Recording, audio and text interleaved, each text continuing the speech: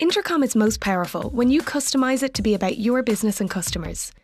So in this video, we'll show you how to track your user data, allowing you to see who your users are and what they're doing with your product, all in real time.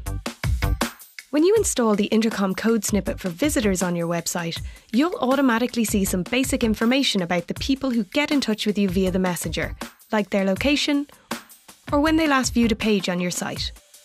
But when a person signs up to your site or app and becomes a user, you can find out so much more about them. Let's start by adding some basic information that will help you identify these users. We've made this easy for you. Just go to your app settings and copy your unique code snippet. Then paste it into the footer of every page of your website or app where you want to track user data, right above the closing body tag, like this. This will now allow you to see your user's name, their email address, and the date they first created their account.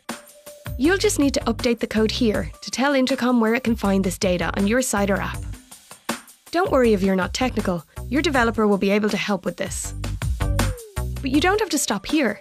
You can send Intercom whatever data you want, specific to your product and your users. For example, if you've got a music sharing app, you could send us over the number of songs a user has played, whether their profile is public or not, or when their subscription ends. Anything at all that you want to track. We have a simple tool to help you do this, which you can find at the bottom of your filter list in the platform section of Intercom, or by clicking the link above. Here you'll see lots of custom data samples to choose from to help you get started. Or you can create your own. Just give it a name and description, and let us know what type of data it is a string of text, a number, a true or false statement, or a date.